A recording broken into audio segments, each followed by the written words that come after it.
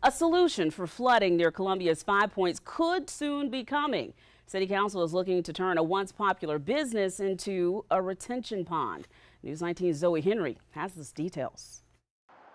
It used to be bustling with cars and lots of suds, even known for having a live tiger.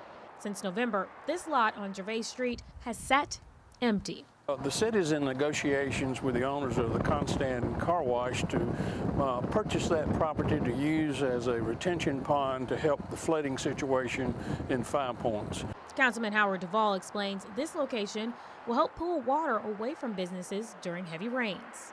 I, I, call it a triple header because we can control the water going to Five Points, we can eliminate the flooding underneath the trestle on Gervais Street. Crews have worked to clean debris from stormwater drains, but businesses like Little Happy say the work is never ending.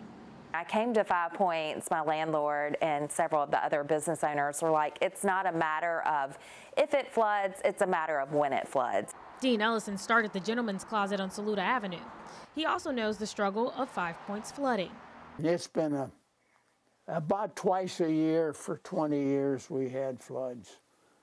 Hopefully they'll be gone. Anything they can do to stop them, I'm in favor of. The project is in negotiations and a price for the project will come later. All there is to it. Just get it fixed. In Columbia, Zoe Henry, News 19, WLTX. Now, once that project is finalized, the money to pay for the pond will come from the stormwater budget.